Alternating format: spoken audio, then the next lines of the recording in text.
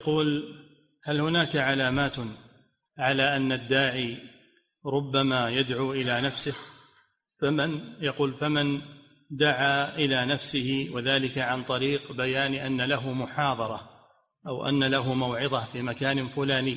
هذا في القلوب ولا يعلم ما في القلوب إلا الله. نحن ما لنا إلا الظاهر.